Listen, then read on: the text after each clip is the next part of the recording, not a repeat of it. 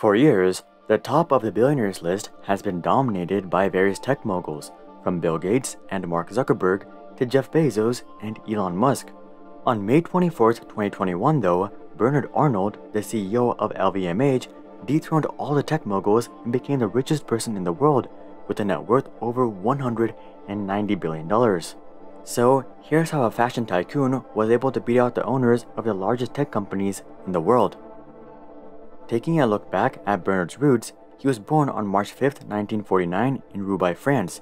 Unlike his peers at the top, Bernard was not only born into a well-off family, but an opulent family who ran a well-respected construction business within France. Bernard never really had that much interest in the construction business. Bernard's true passion was always music. But he was also practical and knew that it would be nearly impossible to make it as a concert pianist. Then again, he did eventually become the richest person in the world, so maybe he would have made it as a concert pianist as well. Nonetheless, Bernard chose to go the safe route, deciding to get an engineering degree instead. Bernard would attend one of the most prestigious universities in France, École Polytechnique, and he would get a job at his father's construction company in 1971. That same year, Bernard visited the US, and this would accidentally turn into a pivotal point in his career. While in New York, Bernard would ride in a taxi, and in an attempt to start up some small talk, Bernard would ask the taxi driver if he knew the president of France. The taxi driver replied that he didn't know the president of France, but he did know Christian Dior. Ironically, 50 years later, the average American still doesn't know the president of France, but we all know about Christian Dior. This exchange showed Bernard the international recognition of French fashion design, and it made him extremely proud to be French. For a moment, he dreamed about running a French fashion company that was known around the world. But once again, Bernard was extremely practical, and he knew that starting his own fashion brand would be nearly impossible. So, he simply got back to work with his father after returning to France. Over the next couple of years, Bernard would convince his father to transition the company from being a construction company to being a real estate company. And as the real estate company grew, Bernard would become the company's president in 1978 at age 29. After taking lead, Bernard would attempt to expand the company to America in 1981, but these efforts wouldn't last that long. You see, in 1984, the parent company of Christian Dior, Boussac, went bankrupt, and the French government was looking for a buyer. At the time, Bernard was quite wealthy, but he had nowhere near enough money to buy a large brand like Christian Dior. He knew that this may be his only chance to buy the company though, so he started talking to some bankers. Bernard would eventually land on Antoine Bernheim from Lazard Financial Services, who agreed to buy up the rest of Boussac and let Bernard run the company. Bernard would end up buying Boussac for $80 million, out of which he supplied $15 million and Lazard supplied $65 million. As soon as the acquisition went through, Bernard got to work. As we previously discussed, Bernard was extremely practical, and this required him to make ruthless decisions. Bernard didn't really care about Boussac, the only reason he bought the company was to acquire Christian Dior. So, his first order of business was to revive the other companies owned by Boussac and then sell them. He started off by firing 9,000 employees and dramatically leaning up the various businesses. He would then flip these businesses for a total of $500 million. This was extremely uncharacteristic of French businessmen at the time, who generally prioritized empathy over profits. This wasn't necessarily because they were super nice individuals. They did, however, care a great deal about being viewed as empathetic businessmen. Bernard didn't really care about creating such a perception though, and he just ate up all the criticism he received from the media. One of the most iconic names given to Bernard by the media was the wolf in the cashmere coat. Bernard would just continue on his path though, and his next goal was to complete his Christian Dior acquisition. He already bought most of the brand when he bought Boussac, but the perfume division of Christian Dior had been previously sold to Louis Vuitton Moet Hennessy, so Bernard still had to buy back the perfume division to complete his acquisition. In order to accomplish this, Bernard would befriend the leader of the Louis Vuitton brand. At the time, the leaders of the two brands, Louis Vuitton and Moet Hennessy, were having a major fallout. Bernard would side with the Louis Vuitton boss to oust the leader of Moet Hennessy and get himself into the company. Eventually, he would turn on the Louis Vuitton boss as well, making himself the leader of LVMH. He didn't have any equity in the business though, so building up equity would be his next target. Bernard would pour in all the money he made from flipping Boussac's businesses, and he would garner additional funding from Lazard to buy a significant stake in LVMH. By 1990, Bernard was able to take control of LVMH. Let's just keep in mind, six years before this, he was trying to expand a family real estate company to America.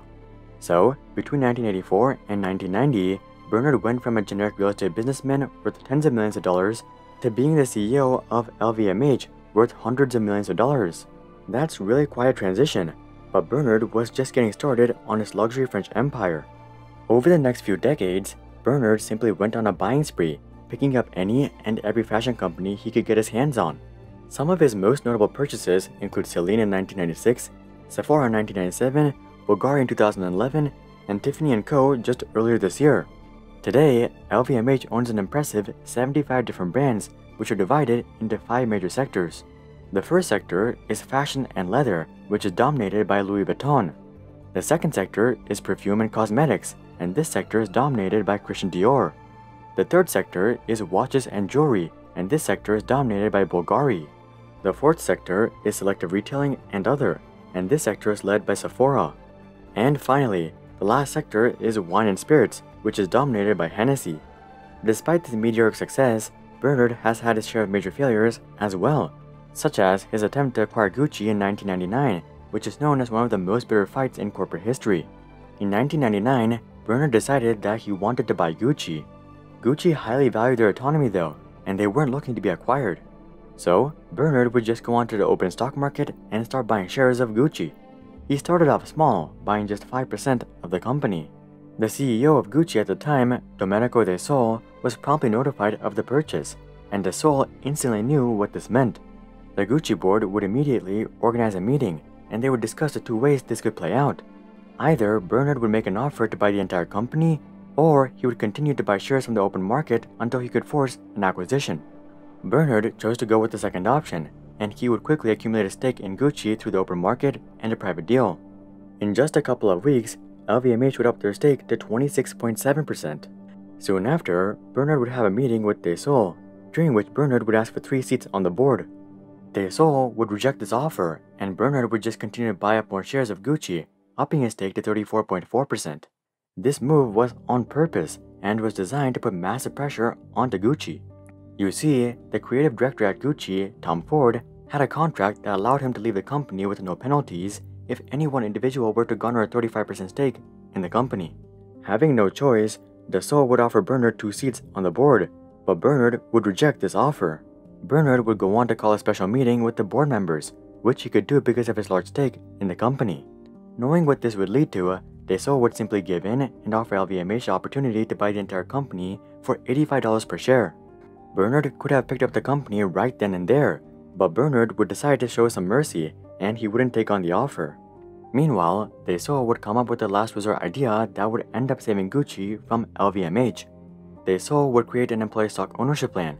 This plan entailed diluting all of the shareholders of Gucci and creating stock that would eventually be awarded to employees. The creation of the employee stock ownership plan increased the total amount of Gucci stock available by 42%, and this subsequently reduced LVMH's ownership of Gucci from 34.4% down to 20%. Bernard was obviously furious, but he didn't think that he was going to lose Gucci. He simply thought that Gucci wanted LVMH to pay a premium to buy the company. So, Bernard would start negotiations with Gucci as to who would purchase the newly created stock. But little did Bernard know that Sole was actually talking with Francois Pinault, who is the leader of the Kering Group. And Sole would end up selling the 42% stake to the Kering Group for $3 billion. After seeing this, Bernard would become livid and he would sue to block the deal.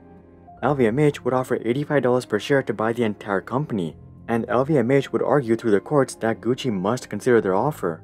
The courts would agree that Gucci must consider Bernard's offer, but at the same time, they didn't have to take the offer.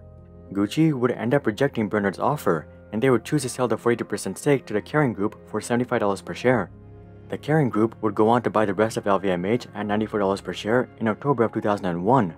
Both sides would end up calling the outcome a victory. Gucci was able to avoid being acquired by LVMH, and LVMH was able to profit $700 million by flipping the shares to the Kering Group. But in reality, the Kering Group was the only party that won. After all, Gucci ended up diluting their shares and still getting acquired anyway. Meanwhile, LVMH lost out on Gucci. Throughout the 2000s, Bernard would attempt a similar strategy with Hermes. But that acquisition wouldn't end up working either. At the end of the day, though Bernard did have some sour deals, most of his acquisitions have gone on without a hitch, and this has allowed him to build LVMH to be the largest fashion company in the world and the 18th largest company in the world with a market cap of about $400 billion. With a 46.84% stake in LVMH, Bernard has successfully built up a fortune worth just under $200 billion today. What do you guys think about Bernard's vicious series of acquisitions? Comment that down below. Also, drop a like if you guys thought this video explained Bernard's story well. And of course, consider joining our Discord community to suggest future video ideas, and consider subscribing to see more questions logically answered. But until then, I'm Hari, and I'll see you guys on the next one.